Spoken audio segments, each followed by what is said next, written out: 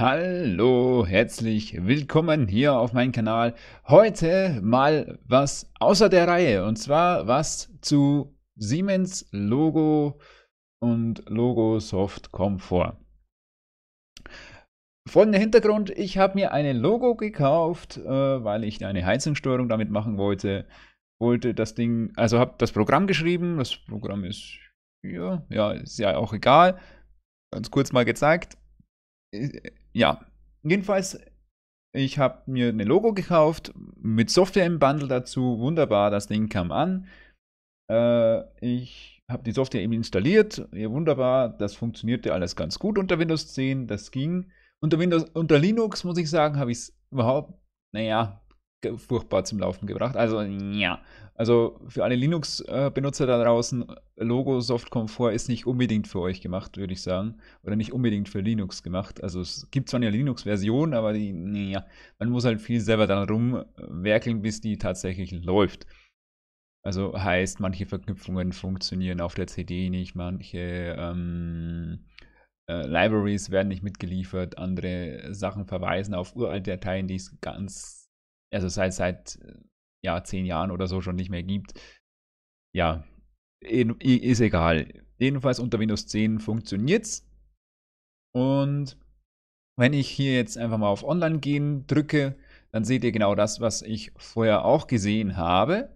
Und zwar, dass ich hier eine Logo habe und die kennt er nicht. Wenn ich hier auf Eigenschaften gehe, dann seht ihr hier, also das ist jetzt hier ein bisschen Mitte, ich sehe das mal ein bisschen in Mitte vielleicht. So, dann seht ihr hier, also so sieht es bei mir auch aus, da ist bei mir das Fenster. Ähm, jawohl, das ist die Logo, das hat die und die, äh, äh ja,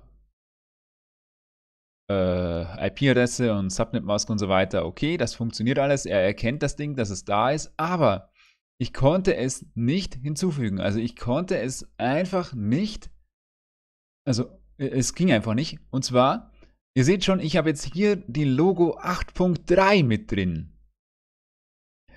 Auf meiner CD war eine Version von Logosoft Comfort, die 8.21 und damit konnte ich maximal die Logo 8.1 und 8.2 auswählen.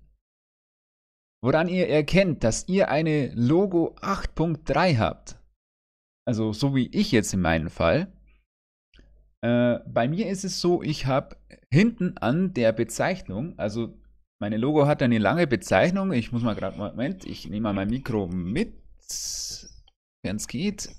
Äh, nee, geht nicht ganz. Ähm, Moment, ich lese mal kurz.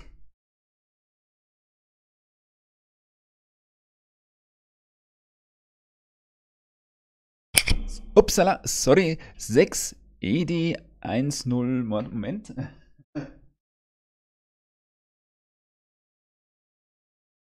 52 Bindestrich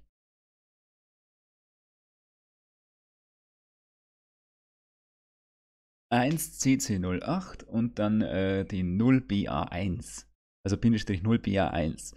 Und an den Bindestrich 0BA1 könnt ihr sehen, die ist hier nicht mit drin. Also hier steht äh, 0BA8, 0BA7 und eine äh, 8.fs4 aber die ähm, 0BA1 ist nicht mit dabei. Das ist dann die 8.3. Und die 8.3 ist bei mir nur in der Software drin, weil ich auf der Siemens Internetseite eine Anfrage zum Download gestellt habe. Ich, ich, ich, ich, verlinke das im Video auf jeden Fall, die Seite.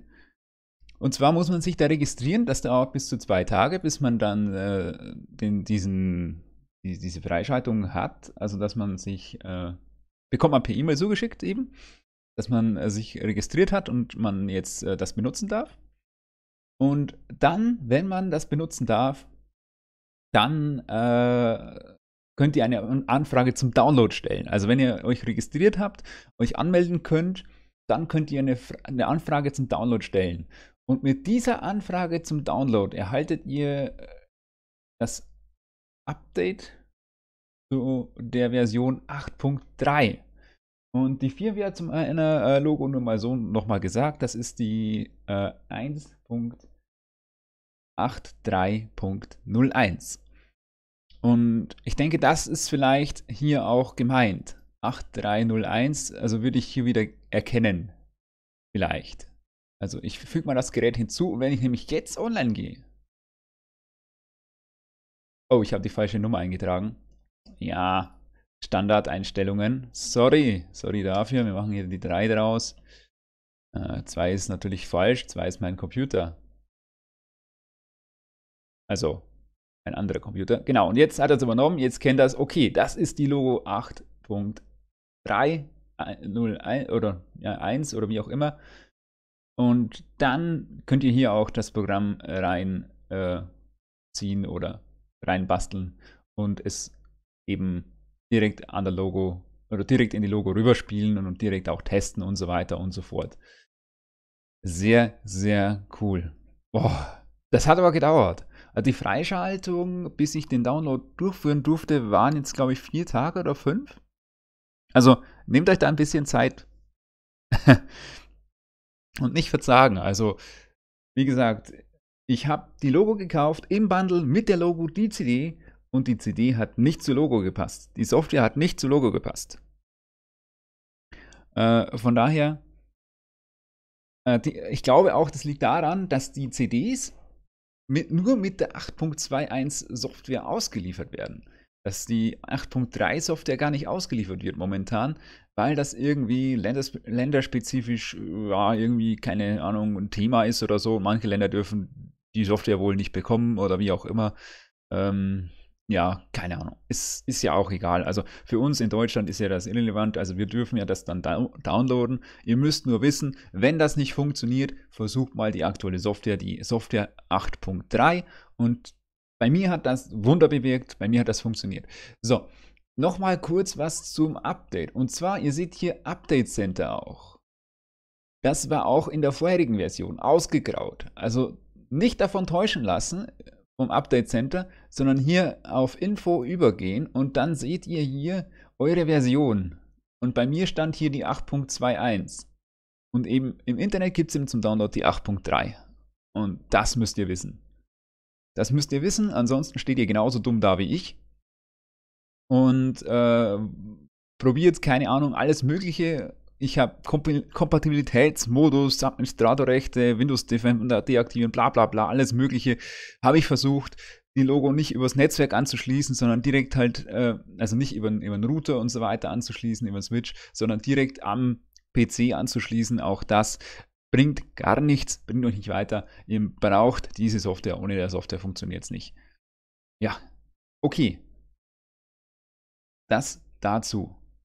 Und jetzt wisst ihr auch, was ich die letzten Tage so getan habe und warum es gestern und äh, kein Video gab und warum es heute wahrscheinlich, ja, wenn dann nur verspä sehr verspätet, weil haben, ich sehe gerade, wir haben schon ähm, fast 15 Uhr, sehr verspätet ein Video geben wird, weil ich, ja, ich, ich muss mal gucken. Also das Video, was ich von Scam habe, was ich hochladen möchte, das ist, ich glaube, eine Stunde, eineinhalb Stunden oder so lang.